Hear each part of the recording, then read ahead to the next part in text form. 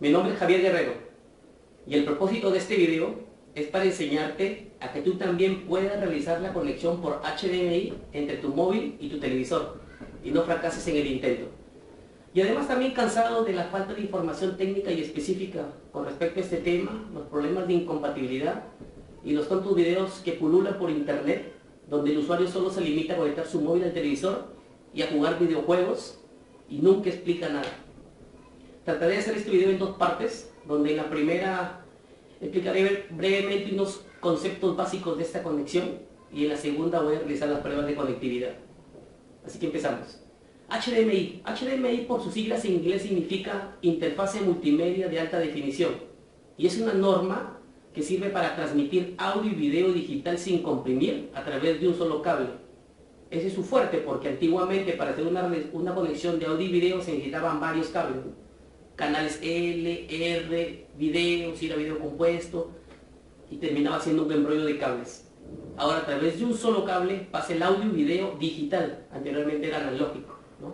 Esta norma fue creada en el año 2002 por un grupo de empresas, Sony, Toshiba, Panasonic, y actualmente ha sido adoptada por todas las empresas líderes de electrónica de consumo. Así que todos los equipos de audio y video traen un conector, por lo menos un conector HDMI. Tratándose de un estándar, los smartphones no se podían quedar atrás. Los smartphones también vinieron adoptando HDMI.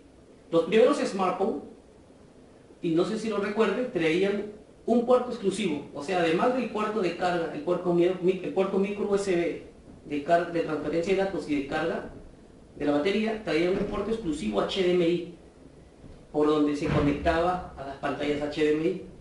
Pero conforme fueron avanzando los equipos, la evolución de los smartphones, a los ingenieros y de los fabricantes no se les hizo no se les hizo tan económico mantener ese puerto ahí porque implicaba un puerto más, circuitería adicional, un cable, un cable exclusivo, espacio en la tarjeta impresa, problemas de estética, así que se inventaron una nueva forma de transmitir el audio y video digital. Y ahí nació el MHL. El MHL es un protocolo, un protocolo que convierte el HDMI y hace uso del mismo puerto USB para transmitir el audio y video digital. El, nacimiento del, del MHL trajo como consecuencia una incompatibilidad porque de esa manera los smartphones ya no podían transmitir audio y video a las entradas HDMI, digamos, normales de los televisores. Y ese es uno de los grandes dolores de cabeza de varios usuarios que no saben cómo conectar su smartphone a su televisor, porque ignoran de que lo que genera o transmite el móvil no es HDMI nativo, o no es HDMI estándar, sino HDMI bajo un protocolo, el protocolo MHL. Y bueno, entonces, ¿qué necesitamos para realizar una conexión por HDMI entre mi smartphone y mi televisor? Necesitamos básicamente tres cosas físicas. Un smartphone, un televisor y un cable. Y el cable va a depender de las características que tengan estos dos equipos. Además de eso necesitamos un poco de investigación o una simple investigación. Ustedes tienen que investigar las características de conectividad de su móvil. Ponen en San Google, en mi caso LG Optimus G, características completas. Se van a conectividad y ven si soporta el protocolo MHL. Ese no es ningún problema porque la mayoría de smartphones soportan el protocolo MHL. La mayoría de todos los Samsung Galaxy, los Xperia de Sony, los Optimus del G, los X, los HTC, bueno, ya vienen soportados ya de fábrica, se ha vuelto un estándar el MHL. Ese no es el problema, el problema es el televisor, debido a que no todos los, eh, todas todos los televisores soportan MHL en sus entradas HDMI.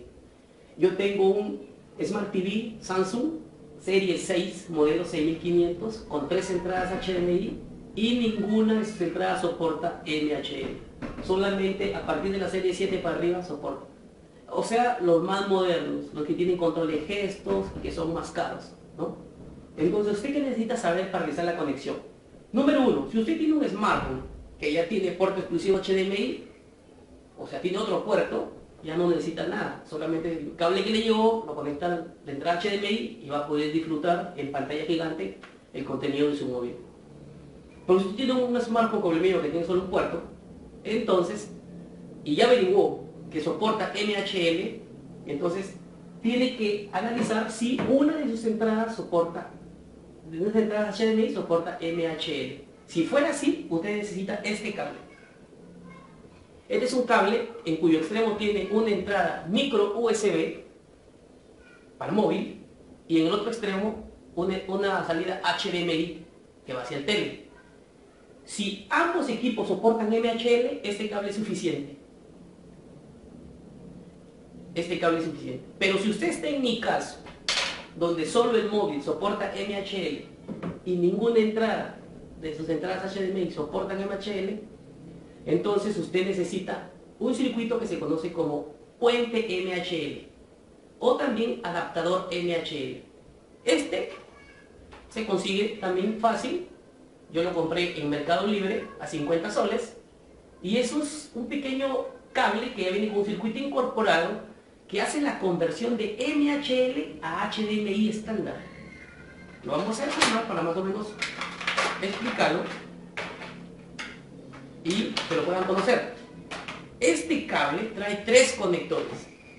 Un conector micro USB que va al smartphone, un conector HDMI que va al televisor y ese conector tiene una cajita más grande porque dentro de esta cajita está el circuito encargado y responsable de convertir el audio y video que viene por HML a HDMI estándar y además un conector USB estándar que le provee alimentación al circuito y que además carga nuestro móvil.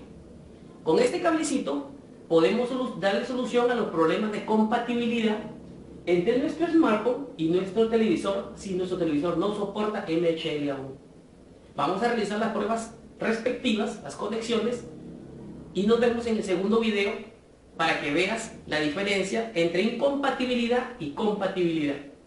Ahí te espero.